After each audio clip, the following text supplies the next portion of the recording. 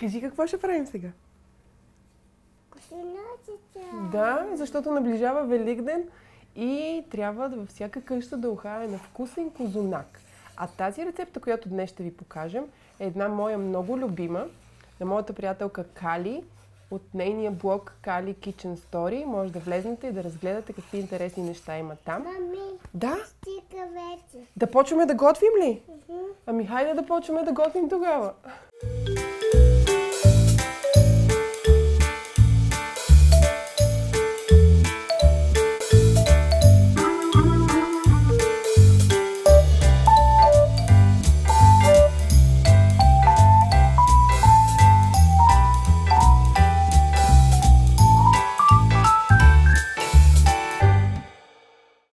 Започваме с нашите козуначета, които козуначета, моята приятелка Кали ги е кръстила козуначета с една ръка. Защо? Защото си щупи ръката и нямаше как да готви. Затова измисли рецепта, която може да направите дори само с една ръка. За тази рецепта ще ни трябва около половинка брашно, две яйца, едно малко масло 125 грама, чайна чаша мляко и около 200 грама захар. Освен това ще ни трябва и една мая и вече по желание, ако искате да има пълнеж в козуначетата, може да си импровизирате. Дали с лукум, или с стафиди, или с орехи, кой каквото иска. Започваме да готвим. Значи в купа съм сложила една чаша мляко, която леко съм я затоплила и сега в нея ще разтворим маята. Едно пакетче суха мая или половин пакетче жива мая. Сега Слагаме при нея една супена лъжица захар. Ето, мами, ето това. Давай, сила. И една-две лъжици. Айде сама. Една-две лъжици. Какво е това, мамо? Брашно. Брашно, да. Ето сега бъркаме. Лекичко, давай. Така. Супер, мамо, чудесно. Само, че лекичко, за да не излезне. Чакай, сега е мой ред. Сега е мой ред да видим тук какво се случва. Ще сложиш ли още една лъжичка брашно? Ето. Давай. Взимаш и свипваш тук. Браво, стига толкова. И оставяме настрани да шупне. Така, Каби, сега ще ми помагаш ли? Добре, виж сега. Слагаме яйчицата. Ти можеш ли? Да. Давай, давай ръчичките. Браво! Още едно? Да. Давай. Давай, ей, това. Хващи. Браво!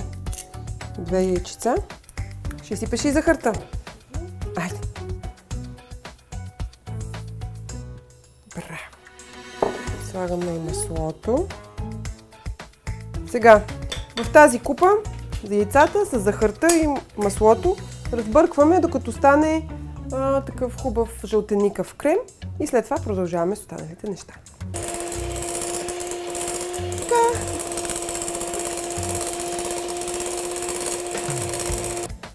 Така, вече го разбихме. Стана чудесен крем яйчено-маслен. Сега в брашното слагам две ванилийки. Сега тук вече може да си сложите и на, корички от портокал или лимон, каквото обичате. Ние ги пропускаме, защото нашия татко не харесва това. И затова разбъркваме брашното. Бъркаме, бъркаме. Сама, ма внимавай да не го разсипеш, мама. Добре. Разбъркахме сега ваниликата с брашното. Сега взимаме тази в другата купа и изсипваме тук. Взимай тази. И го изсипваме. Давай. Сега ще бъркаш ли? Не, защо?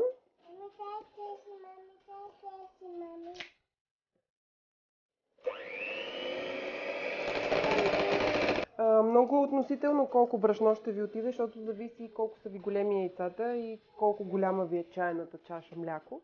Но горе-долу половинка с плюс-минус. Слагай тук, мами. Изчакай малко. Сега вече ще сложа приставките за тесто.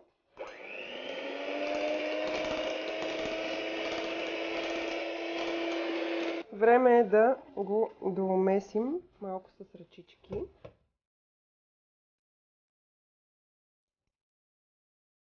Пази се, пази се, пази се!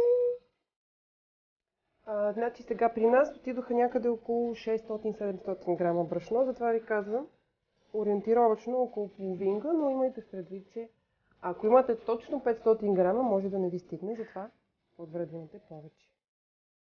Сега го премесваме малко с още малко брашнице. Ето за гавито. Давай сега ти. Като мама. А, така. Браво, котенце. След като сме го помесили, ето вижте го, тестото е мекичко, но не лепне по пръстите. Го връщаме в купата. Ето така. Послагаме му една кърпа отгоре. Чакай, Гави. И аз лично го слагам в фурната на възможно най-низките температури, които вашата форма позволява, или там някъде около 60-70 градуса, за да втаса по-бързо. Вие може да го оставите просто на топло място, за да втаса. Знаете, трябва да удвои обема си. И след това правим козуначетата.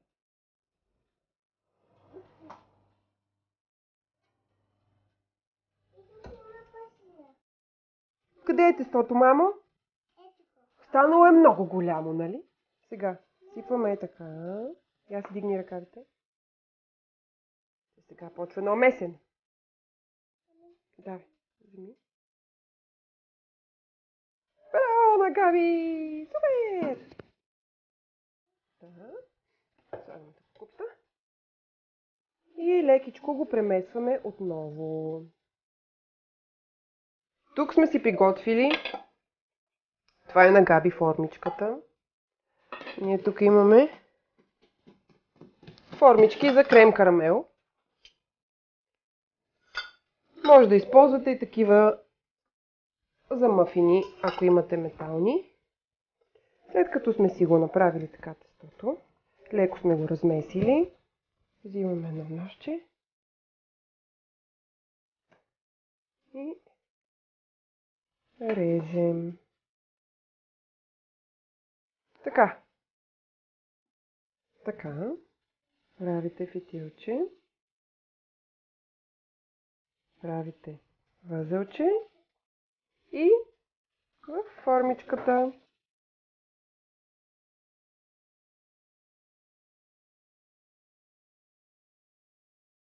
Капче, айде мамо и от твоите да направим, нали?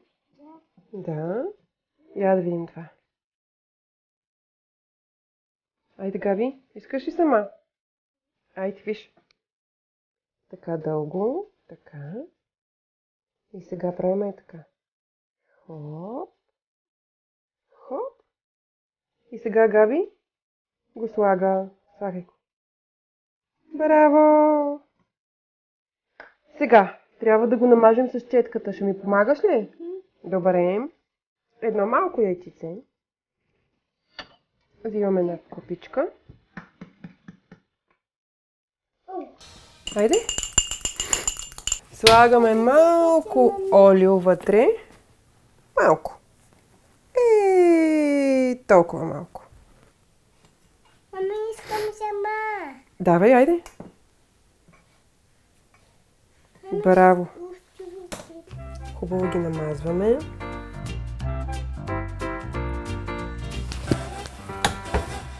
Айде. Ей така взимаш малко, да, и посипваш. Мъничко, мъничко. Виж. Ей така.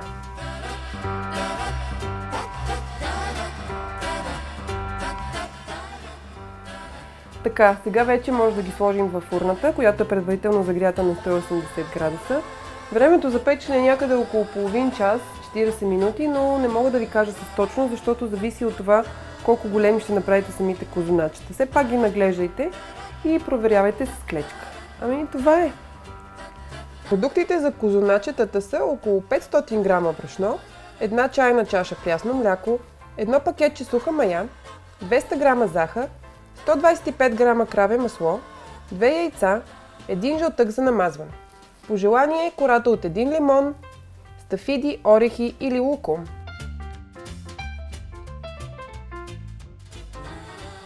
Ето ги, сладки бомбички. А това тук е на Габи, която тя сама си умеси. Намаза с захар. Само, че тя легна да спи и затова ще го оставя да изтине, за да може като се събуди да си го хапне. А пък вие непременно пробайте тази рецепта и влезте в Facebook, в моята страница или под видеото ми напишете коментар дали са се получили при вас, така както при мен. Ако се сещате за още нещо, което искате да видите, пак не спирайте да споделяте с мен. Дайте по един лайк за видеото и ви чакам отново следващата седмица.